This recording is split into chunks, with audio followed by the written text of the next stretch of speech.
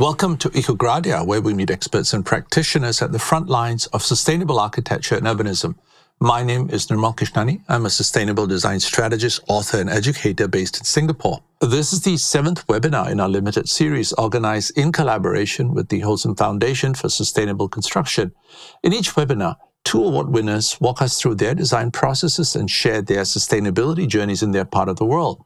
Today, we're pleased to welcome representatives from winning teams from the Latin America region. Juan Carlos Cano, the co-founder of Canovera Arquitectura, is here to talk about Utopia Estrella Iztapalapa, a brownfield site transformed into an eco-social hub in Mexico City, Mexico, which won the Gold Prize.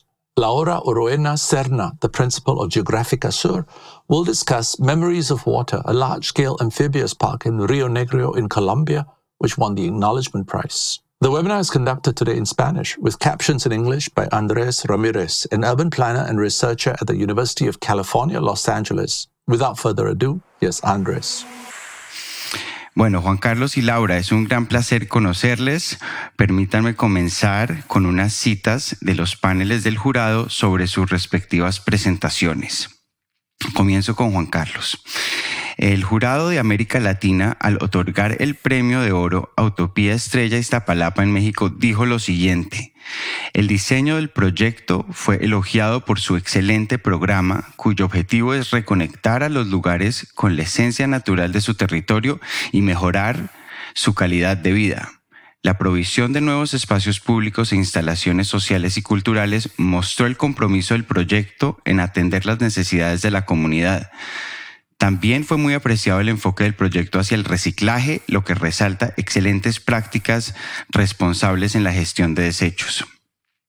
Laura, continúo contigo. El jurado de América Latina, al otorgar el premio de, reconocimiento a Memorias del Agua en, Río Negro, dijo lo siguiente.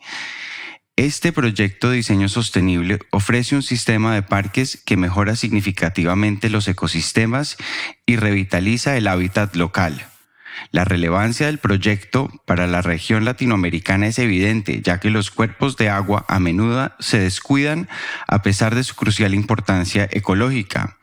El proyecto transmite un mensaje poderoso, destacando la urgente necesidad de revalorizar y recuperar los ríos y los sistemas acuáticos en general. Antes de comenzar la conversación formalmente, les voy a pedir a, los dos que, nos expliquen, por favor, de qué se trata su proyecto brevemente y quizás también que respondan a los comentarios del jurado. Eh, empecemos contigo, Juan Carlos. Sí, gracias Andrés.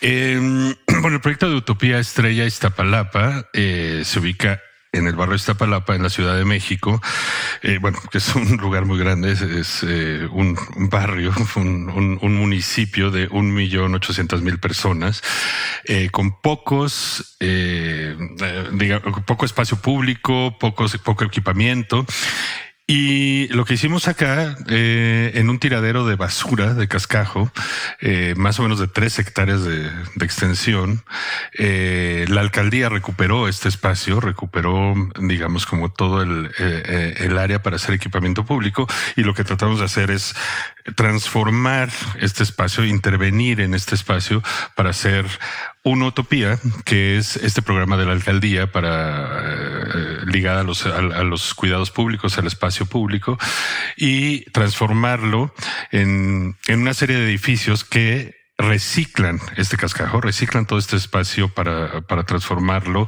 en equipamiento cultural, deportivo y social. Eh, este, es, este, digamos, esta área también está ligada a la planta de tratamiento de Cerro de la Estrella. El Cerro de la Estrella, digamos que es eh, uno de los espacios más importantes de Iztapalapa y eh, se liga eh, toda esta infraestructura se liga a la planta de tratamiento, con lo cual también eh, de estas tres hectáreas que teníamos, una hectárea se transforma en un humedal que se conecta a la planta y que recicla todo el agua para, para, para la zona. Gracias, Juan Carlos. Laura, continuemos contigo. ¿Podrías resumir tu propuesta? Sí, claro, gracias Andrés. Bueno, Eh, para iniciar, quisiera comenzar diciendo que Colombia es un país que nace del agua con un increíble potencial hídrico, que está encaminado a reconocer y reconciliar sus dinámicas ecosistémicas y ambientales que han sido deterioradas a través de los años por la mala planificación y por el crecimiento acelerado en nuestras ciudades. Nuestro proyecto Memorias del Agua está ubicado en el municipio de Río Negro, Antioquia, que es un territorio de cuencas, un territorio de montañas, en donde van convergiendo muchas quebradas en el centro, que es el Río Negro. Este río atraviesa todo el municipio de Río Negro. Entonces, Río Negro tiene, el municipio de Río Negro se pone como meta crear una ciudad sostenible, mejorar sus prácticas urbanas y lo hace mediante el proyecto de Paisajes del Agua, eh, que es un proyecto que busca como centro del, territorio y del municipio, ser centro de eh, mejorar, revitalizar el ecosistema, como centro y corredor ambiental, mejorar, mejorar eh, todo su ecosistema, como también eh, volver los espacios para la vida y de cohesión social. Este río es un río inundable, es un río que tiene unas dinámicas vivas. Al principio nos asustó mucho eso del proyecto, pensábamos que era algo que teníamos que solucionar, pero cuando entendimos que son las dinámicas vivas y las narrativas propias del paisaje, fue cuando entendimos cómo abordarlo. Y lo lindo del proyecto es en estos escenarios de la vida que confluyen eh, muchos sectores sociales. En este momento están en obra. Eh, al ser tan grandes se tuvieron que priorizar eh, los tramos con más impacto social y también con más impacto ambiental. Gracias, Laura. Bueno, Juan Carlos, quiero, quiero regresar a tu proyecto, hablar sobre el título, em, donde hace referencia a una utopía, que entiendo que es un programa municipal, pero también tú lo defines como una especie de utopía social. Eh, me gustaría saber cuál es la propuesta de, de esta intervención espacial material y ecológica y cómo pretende convertirse en una utopía social o cómo genera un impacto social. Sí, en, realidad el título eh, Utopías es un programa de la alcaldía de Iztapalapa.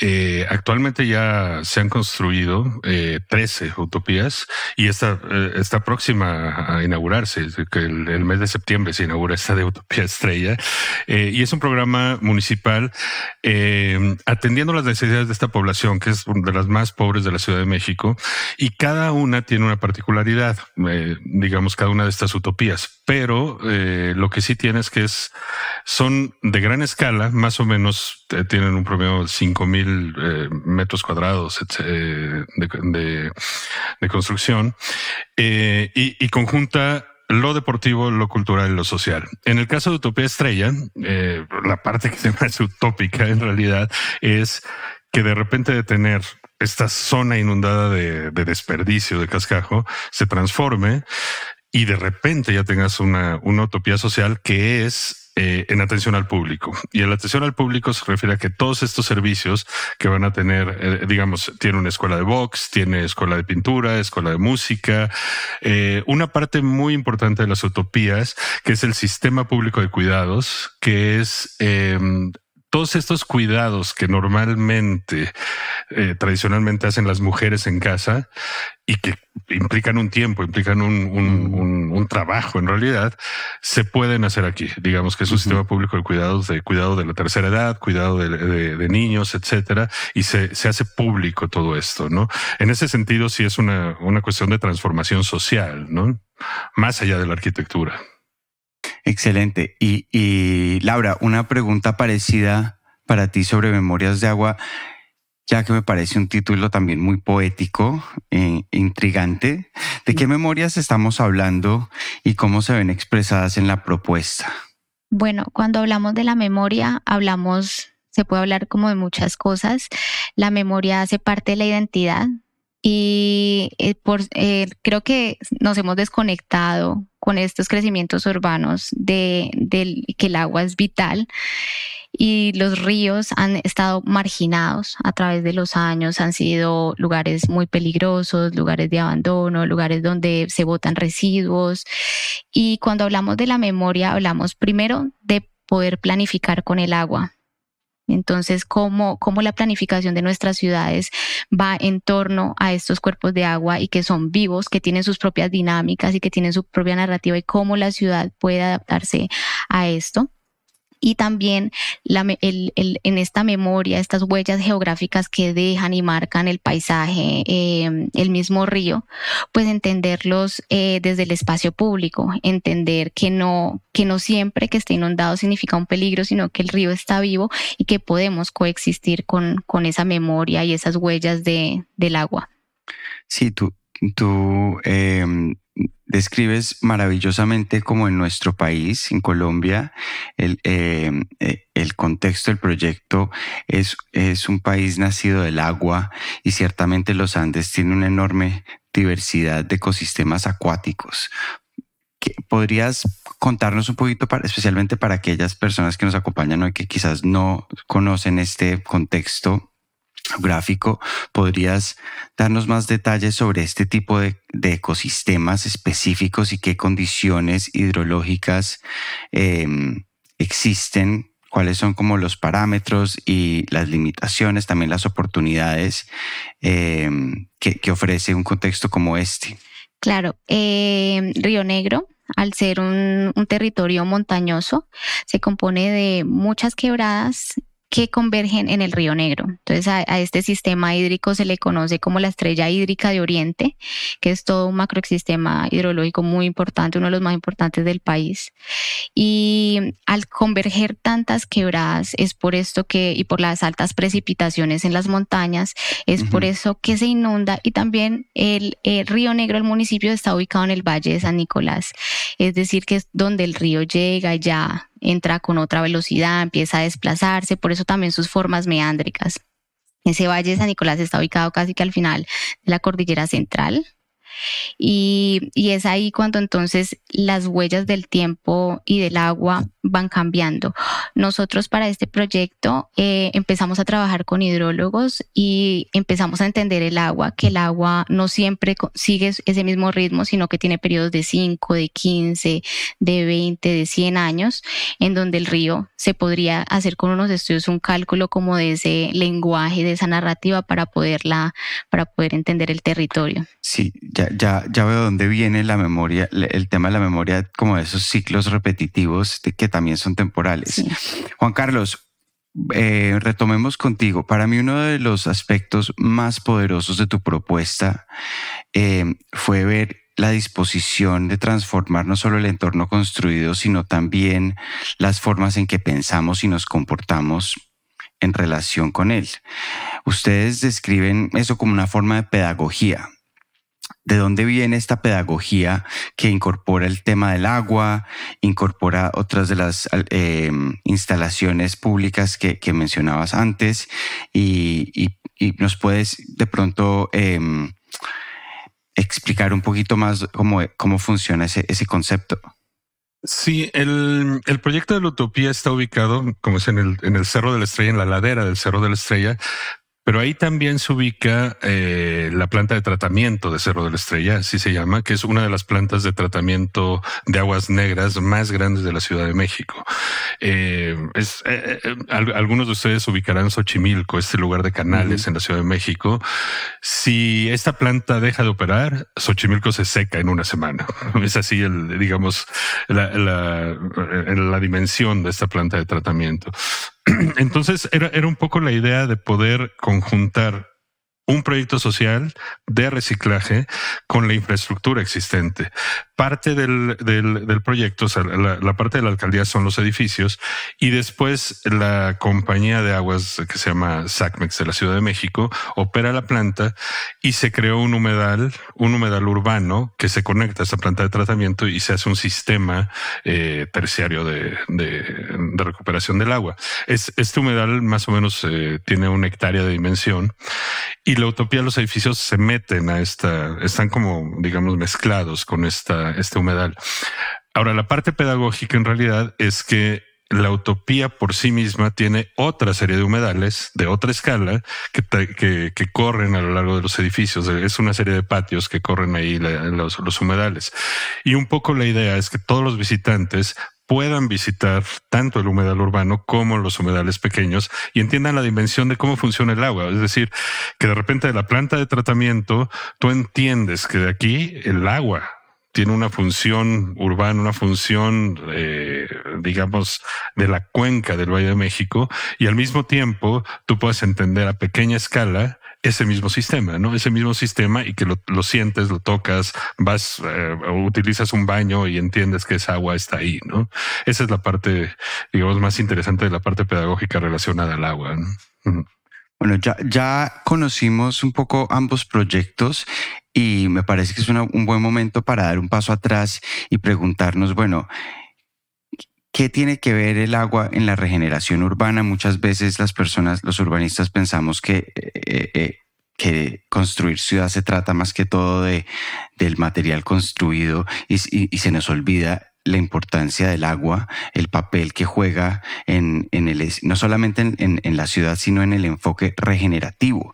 Em, para ustedes, ¿cómo, cómo es, eh, qué, rol tiene el agua cuando diseñan, cuando piensan en el diseño y cuando ah, em, e, entran en proyectos como los que eh, están discutiendo hoy? Em, bueno, para mí, eh, con la experiencia del proyecto de Memorias del Agua, creo que es vital planificar con el agua porque hace que entendamos mejor eh, nuestras ciudades y su misma geografía. Cómo, cómo el paisaje es importante porque es la fuente de nuestra vida y también como sociedad. Yo creo que incluso todos lo sentimos en la pandemia, el encierro en la casa, todos queríamos ir a abrazar un árbol. Era algo tan básico que, muchas veces lo normalizábamos y no sabíamos que lo necesitábamos tanto. Entonces, parte de esa regeneración urbana, pues aparte del tema del cambio climático, eh, también es un tema como fundamental humano. Entonces, creo que es vital que las ciudades entiendan eso eh, para poder cuidar el planeta y cuidar también nuestra salud. Sí, y, en, en, un contexto, eh, pensando ahorita en un contexto como la Ciudad de México, que contradictoriamente es una ciudad donde falta el agua y se inunda. es un poco absurdo. En épocas de lluvia se, se, inunda y de repente no tienes agua potable que, que, corre. Entonces, esa es una gestión del agua que, digamos, que no, no tiene sentido, o ahora entendemos que no tiene sentido, ¿no? Eh, particularmente Iztapalapa es un lugar que normalmente hay falta de agua. Y creo que si no se empiezan a hacer esta serie de proyectos, y, ahorita bien lo decías, Andrés, eh, pensamos que construir es hacer edificios y construir es generar más eh, masa, ¿no? Y creo que tenemos que cambiar esa perspectiva, ¿no? Tenemos que de alguna manera entender que, que, es una transformación de territorio lo que, lo que tenemos que buscar y que, que lo importante es casi lo no construido o reutilizar lo construido y darle una prioridad a estas partes que, que en realidad de repente ni siquiera nos damos cuenta porque eh, en, en, relación al agua normalmente están fuera de nuestra vista, ¿no? Y casi que un, un buen propósito, e, e, eso es el inicio del proyecto de Memorias del Agua, ¿no? Es visibilizar todo esta parte de, de, saber cómo funciona, que, que los ríos están vivos, ¿no? Sí, hay algo, hay algo que me gustaría añadir ahí con lo que dice Cano, y es que no pensar eh, con el agua en la planificación hace que tengamos entornos vulnerables, como en el caso de México, que cuando llueve es, es, se inunda, y lo mismo pasa en Río Negro, que uno de sus tramos fue canalizado eh, por la mala planificación y no entender, y hace que hayan entornos vulnerables con la inundación y que nuestras ciudades sufran de la inundación en vez de tener el, el, el contacto adecuado eh, y el cuidado pues de estos sistemas que están vivos. De acuerdo. Eh, yo, yo pienso que eh, uno, uno, de las dificultades ah, gira en torno a la falta de conocimiento y a veces incluso formación profesional que, que el agua y, la atención a, a, la hidrografía no, no hace parte prioritaria de eh, el currículum académico. If you think the vision behind today's winning entries is in line with your own sustainability goals, let me quickly tell you about the Wholesome Foundation Awards, the world's most significant competition for sustainable design, with a total prize pool of 1 million US dollars. Francis Carey, the acclaimed architect, won the Global Gold in 2012. Prior to winning, few had heard of him, and since his profile has skyrocketed. At EcoGradia, we celebrate award winners like Carey. This year, we are spotlighting the 2023 winners in this exclusive webinar series. And who knows, next year you might well be a part of this inspiring group of changemakers. You can submit for the next cycle from 1st October 2024 until February 2025. It's free. Find out more in our show notes or at wholesomefoundation.org. And now back to our guests.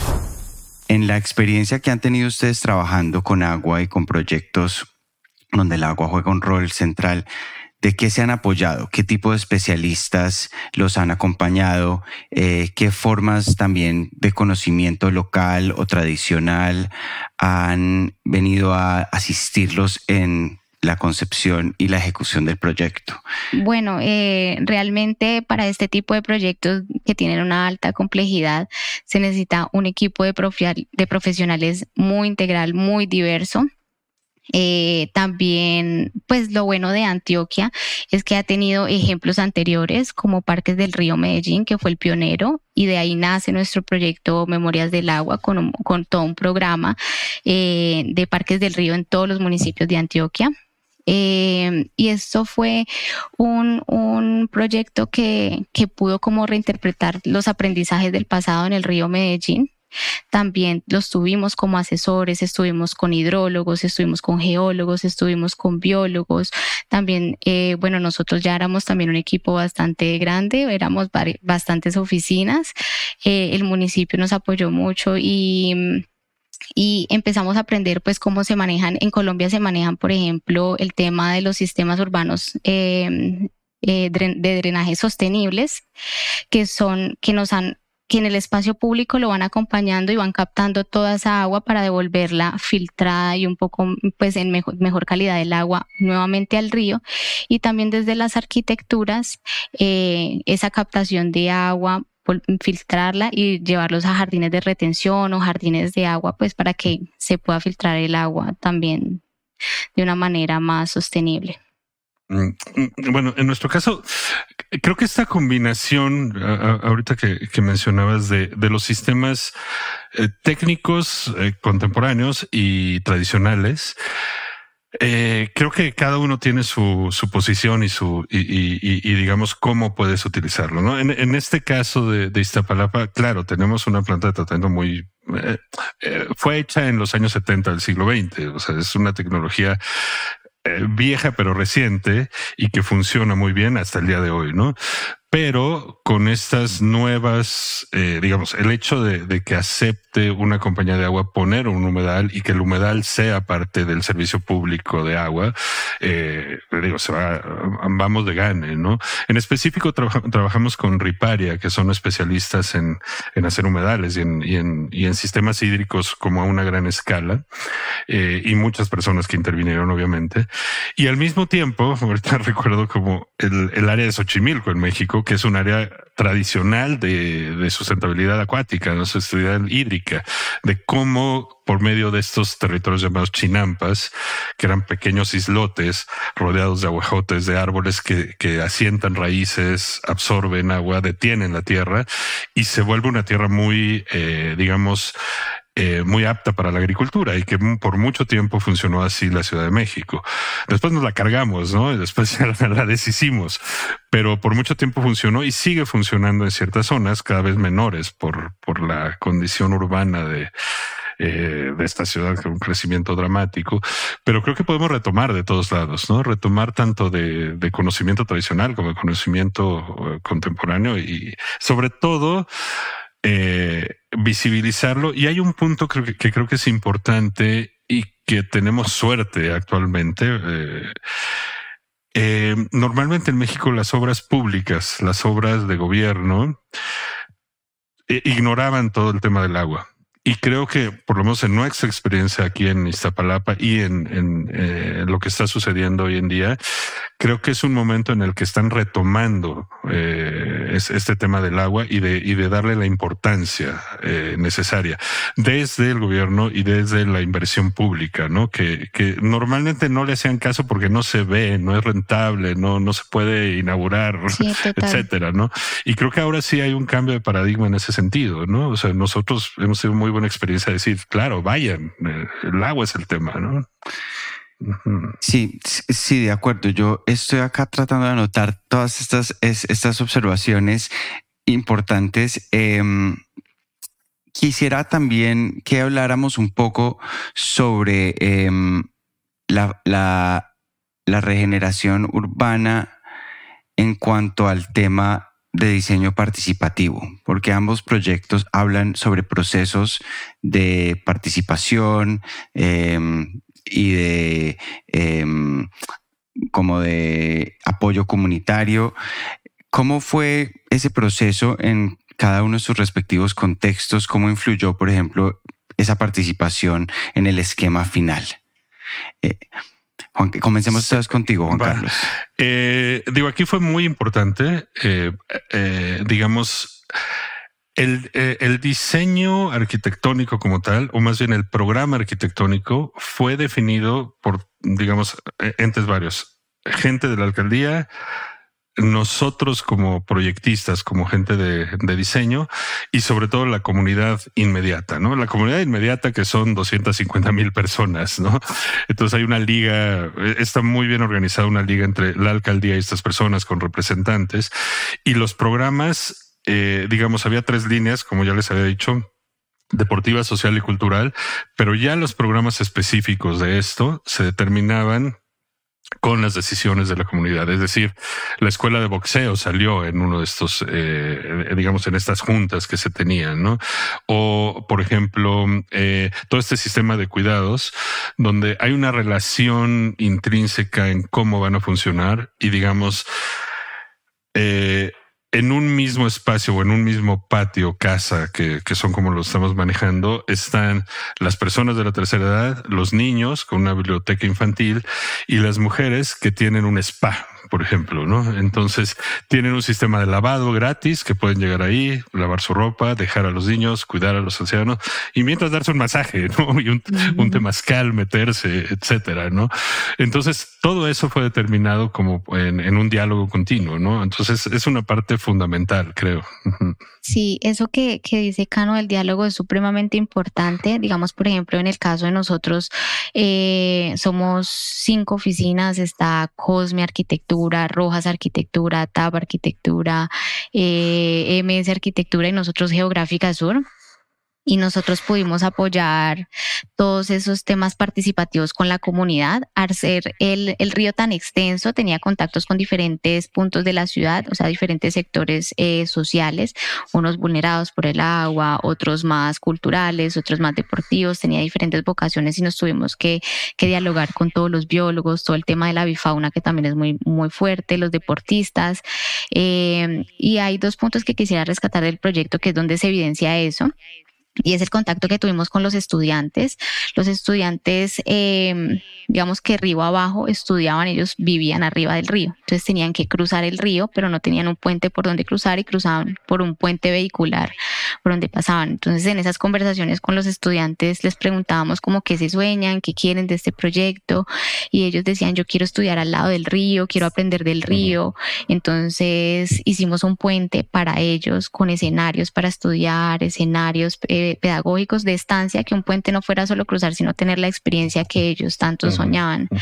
Otro, otro de los puntos también muy importantes para nosotros, que fue el primero que, que se construyó, se llama el sector de Malecón de las Playas, era un, un espacio muy vulnerado, era espacio de expendio de droga, eh, mucha inseguridad, basura, y cuando esas personas entendieron que tenían un parque, entendieron que tenían como un antejardín, que su antejardín siempre fue el río y empezaron a cambiar las dinámicas, eh, hablar con ellos, pues al principio siempre fue en compañía de sociólogos que nos acompañaban en estos temas delicados, pero luego ver el cambio, el Día de las Velitas, pues fue un éxito aquí en Colombia que se celebra en diciembre y, y cómo cambió las dinámicas y cuando los niños colonizan el espacio, como que, y las, también las personas de la tercera infancia y las familias llegan, desplazan este otro tipo de actores que cambian, pues, las dinámicas de un sector. Oye, pero me imagino también que, digo, porque es muy extenso su proyecto, ¿no? Entonces han de tener como diferentes actores sociales, ¿no? O sea, como diferentes mm, casi barrios, eh, no sé, ¿no? Sí, son, son demasiadas, incluso pues también hay un contacto con la parte fundacional de, de, de mm, de Río Negro, hay un puente que es histórico, tiene temas patrimoniales, históricos, culturales, deportivos, ambientales. Entonces, así, eso enriquece mucho el, el proyecto porque es muy diverso y lo, lo, que más nos ha gustado es que como que todos podemos estar en el mismo lugar, no importa, y que, y que podemos convivir en conjunto, que podemos encontrar que un niño puede ser de mucho dinero con otro niño y pueden seguir jugar y crean civismo, o sea, ahí es el espacio para el civismo. Bueno, estos proyectos em, y estos procesos de los cuales hablamos pueden durar décadas em, y, de hecho eh, están, ustedes están cada uno en momentos distintos, pero ya avanzados del proyecto. A medida que empieza a realizarse el, eh, proyecto, eh, surge la pregunta, ¿cómo se define y cómo se evalúa el éxito eh, de, una intervención como esta, ya que han comenzado a ver que, que, se, que se terminan, que se entregan distintas partes. Juan Carlos, tú que estás muy cercano a entregar en septiembre, ¿cómo, cómo, cómo comienzan a interpretar algunos de estos resultados? No solamente ustedes como equipo de diseño, sino también las comunidades, los expertos con quienes trabajan, eh, las, las contrapartes de, del Estado o de la municipalidad. Eh, sí, y eh, eh, digo, es una parte muy importante y que nosotros cuando empezamos este, este, proyecto nos daba miedo por, por el... siempre hay un tema, digamos, de mantenimiento a largo plazo de, cómo va a funcionar esto. Ahora, tuvimos la suerte de, de, de que esto está dentro de este sistema de utopías y no fueron de las primeras que se construyeron, sino esta es una segunda etapa de esta construcción de, la alcaldía y las otras ya están en uso. Entonces se puede dar como esta visión de cómo van funcionando, qué errores eh, pueden ir teniendo. Y ya cuando llegamos a, digamos, a la planeación de esta, ya había como muchas cosas corregidas. Eh, y el ejemplo que ahorita tenemos son las que ya están en uso, que llevan como tres años, dos años algunas funcionando. Y claro, lo que es sorprendente es eh, son un éxito, son un éxito social, digamos, por la cantidad de gente que las utiliza y, y, por la dimensión que de repente cobró esto, ¿no? Hay una cosa en la Ciudad de México donde eh, muy dividido, digamos, el oriente y el poniente. El oriente normalmente es, eh, digamos, un sector social mucho más, eh, con, con, menos recursos y el, y el, poniente tiene mucho más dinero. Y las cosas normalmente se hacen del lado poniente.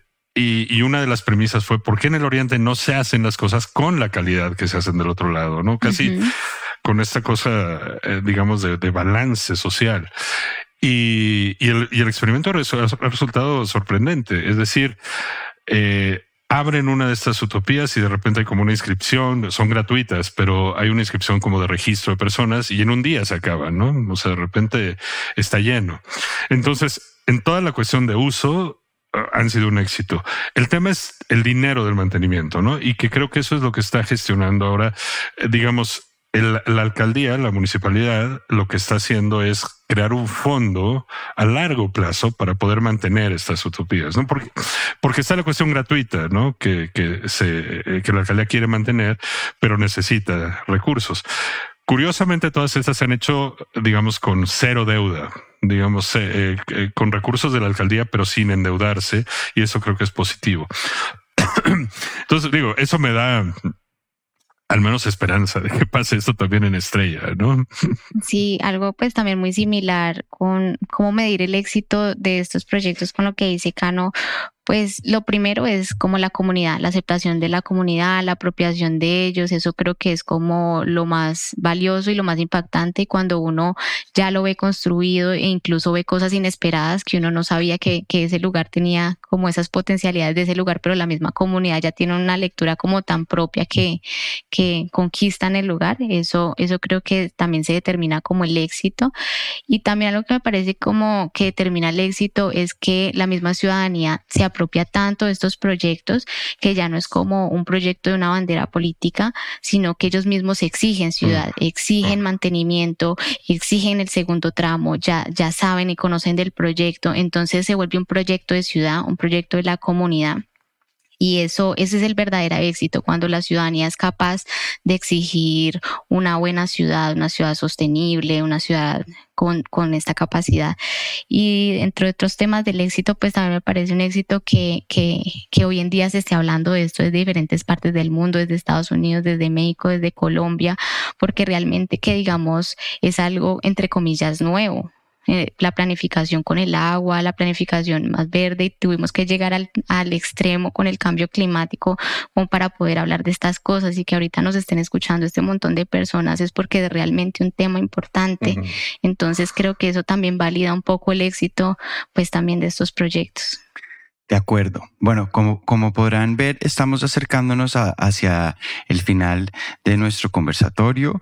Em, yo aprovecho para, para presentar una última pregunta o una invitación a Juan Carlos y a Laura que eh, compartan con nosotros quizás una recomendación, un, un tip, una sugerencia sobre cómo acercarse al tema hídrico eh, desde el urbanismo, desde la arquitectura para algunas de las personas que quizás son eh, jóvenes, estudiantes o, eh, están entrando en la, en la práctica apenas, ¿cómo, ¿qué recomendación les darían? Bueno, yo creo que el agua tiene muchas formas de abordarla, desde la parte técnica, desde la parte sensible, desde la parte de la vida, desde la parte de lo ambiental. Entonces yo creo que es importante reconocer como las múltiples esferas en las que el agua puede tener un lugar y poderlas explorar todas, como cuál es la vegetación de ese río, cuál es la particularidad, cuál es su clima, eh, cómo este ayuda al ecosistema, cómo hay una fauna, hay una flora asociada a ella, cómo nos ayuda como humanos, cuáles son sus dinámicas, sus dinámicas, cuáles son sus temporalidades, eh, y eso que, que, que, que, enmarca nuestra identidad como que hace que, que, un río sea diferente a otro. Entonces, por más de que sean cuerpos de agua eh, diferentes, cada uno tiene pues también tienen cosas en común, pero también tienen particularidades que lo vuelven muy único de un lugar. Mm. Y eh, digamos, es un tema que abarca muchas disciplinas. Eh, es decir, o sea, creo que no se puede ver desde un enfoque, digamos, de, una profesión nada más, sino que el espíritu colaborativo tiene que existir en este tipo de proyectos, en, en cualquier tipo de proyectos, ¿no? Y curioso, eh, yo ahorita estaba pensando que curiosamente nosotros como arquitectos nos tenemos que quitar este, esta idea que muy, muy de arquitectos de, de, ser protagonistas en, en, las cosas. porque, porque eh, siempre los arquitectos nos ponemos en el centro, así como que es, es mi idea, ¿no? y Creo, creo, que eso es, eh, es perjudicial para esta, este tipo de proyectos. Eh, y, y, regresando un poco a lo que eh, comentamos en algún momento de a veces no hay que hacer nada, a veces nada más hay que ver lo que está ahí y, y, y, pasar casi desapercibido. Es decir, en algún momento de, de, todo este tipo de proyectos hemos pensado la arquitectura es completamente secundaria. Lo importante es otra cosa, es, es otra cosa que es como, como entender, leer algo empezar a, tratar de que eso sea lo importante. Y lo otro son pequeños acentos que, entre menos hagamos, creo que mejor, ¿no? Bueno, pues eh, excelentes recomendaciones, sabias recomendaciones de ambos. Espero que nuestra audiencia haya tomado nota. Eh, bueno, ahora sí debemos cerrar. Es todo el tiempo que tenemos hoy. Eh, antes de irse, gracias nuevamente a Laura y a Juan Carlos por compartir sus ideas y por brindarnos una visión detrás de la cortina de sus proyectos increíbles y felicitaciones por sus premios. Gracias Andrés y Laura. muchas gracias Andrés, muchas gracias Cano. Muy chévere la conversación. That's all for today. Thanks to our guests, to Andres Ramirez for conducting this webinar, and to all of you for joining in. A big thank you to the sponsor of this series, the Holcim Foundation for Sustainable Construction. The foundation is a leading organization whose sole mission is to promote new ways of thinking and acting in the design construction sector globally. Their goal is to give you the resources you need to craft your own journey and make that journey a little easier. To learn more about the winning projects discussed in today's webinar, plus who else will be featured in this series, go to holcimfoundation.org. Thanks, everyone. Until next time, this is Nirmal Kishnani signing off in Singapore.